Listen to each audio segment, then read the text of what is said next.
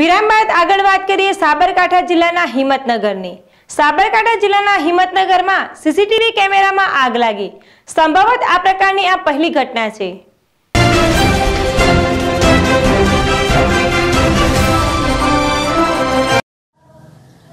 સાબરકાંઠા જિલ્લાના હિંમતનગરમાં આગ લાગવાની અનેક ઘટનાના સમાચાર દરરોજ આપણે વાંચવામાં આવે છે.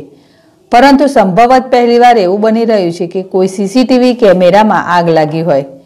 હિંમતનગરમાં સીસીટીવી કેમેરામાં આગ લાગ્યાની પ્રથમ ઘટના નોંધાઈ છે. શહેરના આરટીઓ સર્કલ પાસે લગાવવામાં આવેલા સીસીટીવી કેમેરામાં આગ લાગી હતી. કેમેરામાં આગ લાગતા લોકો પણ અચરજમાં મુકાયા હતા. સર્કલ પાસેથી પસાર થતા લોકોએ આ ઘટનાને કેમેરામાં કેદ કરી વીડિયો વાયરલ કર્યો છે. સૈયદ સોયબ જેડેશ્રી હિંમતનગર.